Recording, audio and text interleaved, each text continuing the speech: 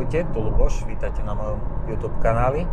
Dnes je celkom zaujímavý deň, lebo berieme kapacitu Volkswagen ID3 s 58 baterkou, to je tá stredná kapacita.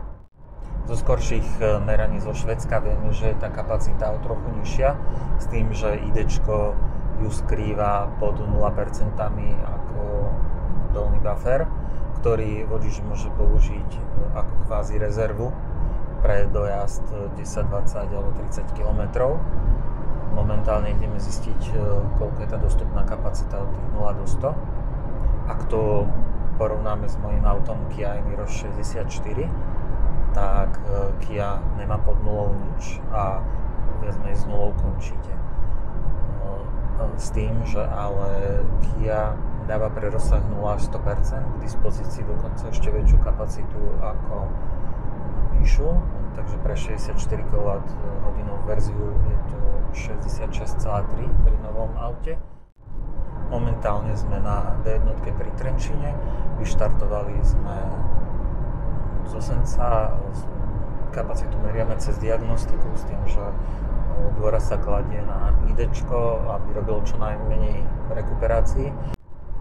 Keď budeme mať ID polovicu batérie, tak sa otočíme a pôjdeme naspäť s tým, že sa podarilo spojazniť už e, dva káble, takže meriame obidve auta, aby sme vedeli porovnať e, približne spotrebu. Teraz, keď sme si pred chvíľkou volali, tak e, ID je od Nira o pár desatín horšie, ale viac menej sú tie spotreby podobné aj pri tejto rýchlosti.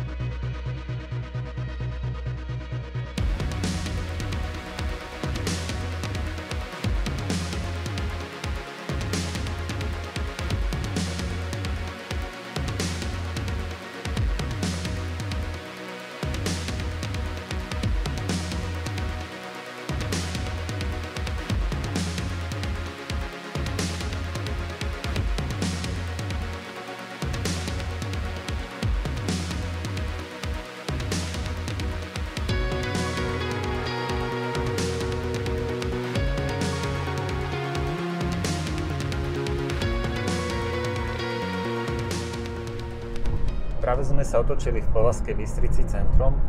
Pred e, otočením sme si skontrolovali údaje z diagnostiky a e, ID3 dorovnala ten, ten rozdiel, tú stratu, ktorú mala, dokonca bola o 0,1 kWh ešte lepšia. Takže tie autá sú motoricky naozaj, čo sa týka spotreby, e, veľmi porovnateľné že platforma MAP si určite drží krok s korejskými autami momentálne ideme späť e, na senec s tým, že úlohou ID3 je vybiť baterku aspoň do 4,9%, aby mohol prebehnúť výpočet. E, ja...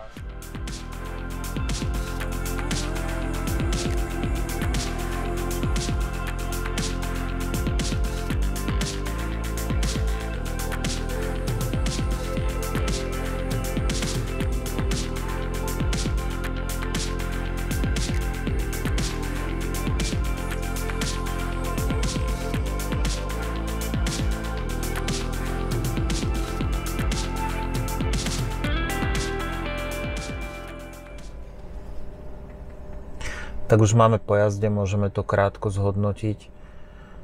Cestou späť sme išli rýchlejšie ako cestou tam. Väčšina cesty bola 125-130 km za hodinu, potom sme spomalili. Ku koncu sme opäť zrýchlili, aby ID3 stihla minúť baterku na požadovanú kapacitu. EV dashboard vypočítal kapacitu batérie na 54,4 kWh pre rozsah 0 až 100 s tým, že tento údaj treba brať s rezervou a pre poistenie presnosti by bolo treba urobiť viacero meraní. 54,4 kWh znamená, že auto má približne 3-3,5 kWh spodný buffer, na ktorý ešte môže jazdiť. Ďakujem vám za pozornosť. Skúsim ešte zanalizovať dáta, ak by tam bolo niečo zaujímavé, tak vám to vypíšem do titulkov. Tak teda ahojte. Súčasťou videa budú ešte podrobné grafy z oboch aut.